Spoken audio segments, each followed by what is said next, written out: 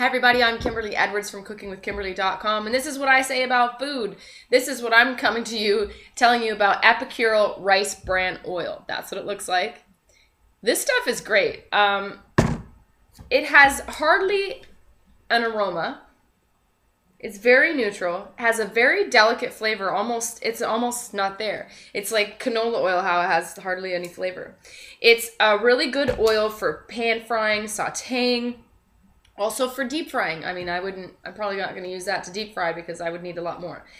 But you can use it. Um, it has a very high smoking point, which allows you to cook with less calories because it doesn't penetrate the food as much. Got me? So that's very healthy about it. This particular variety is kosher, has no preservatives, and it's GMO free, which is cool. So no genetically modified organisms out there um, where the rice is growing. Okay, that's what it looks like.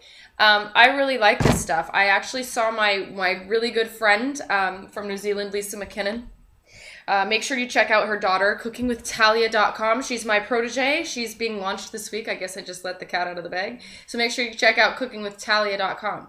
But my friend in New Zealand, she um, was cooking some recipes and she sent me some stuff to try because she wanted to you know, we like to share recipes from different parts of the world with each other.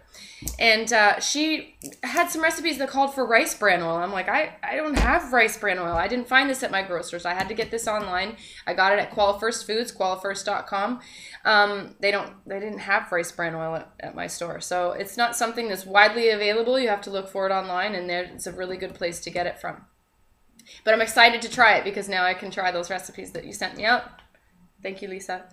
Anyway, that's it. That's all. I hope you try this stuff out. Epicureal rice bran oil. That's what I say about food. Make sure you follow me on Twitter at Cooking with Kim E with a capital E. I hope you like the fan page. It's facebook.com slash cooking with Kimberly. My shows are at youtube.com slash cooking with Kimberly, and my site is cookingwithkimberly.com. I hope you eat deliciously and you're a champion in your kitchen. Bye.